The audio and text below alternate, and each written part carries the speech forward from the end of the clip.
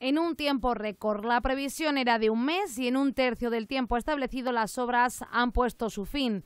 La calle Carrera en Toledo se abre al tráfico con una mejorada imagen por dentro y por fuera, ya que se ha cambiado un colector de 100 metros para evitar así los hundimientos que se producían en el firme. Además, el concejal de gestión de servicios ha anunciado otras dos mejoras para la ciudad. Que van a seguir durante todo el otoño, como es eh, toda la calle Santo Tomé. Eh, tenemos que cambiar ahí la red de abastecimiento de agua, aunque es verdad que en este caso no va a haber que cortar en su totalidad la calle porque va por un lateral. Y estábamos hablando también de la calle Santa Úrsula, que también tenemos que eh, renovar toda la red de abastecimiento de agua con el objetivo, como saben, de dar eh, esa alternativa real al 100% del casco histórico eh, eh, si se rompe la tubería general de abastecimiento. Unas obras que finalizan justo antes de que se reanude el curso escolar. Va a hacer posible que el lunes, el martes, empieza el calendario escolar y la importancia que tiene esta calle desde el punto de vista de la comunicación, de la movilidad,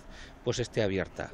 La ciudad de Toledo tiene muy pocas calles transversales, casi todas son radiales. En estas obras se han invertido 100.000 euros, mediante los cuales queda ya reformada una de las calles más transitadas de la ciudad.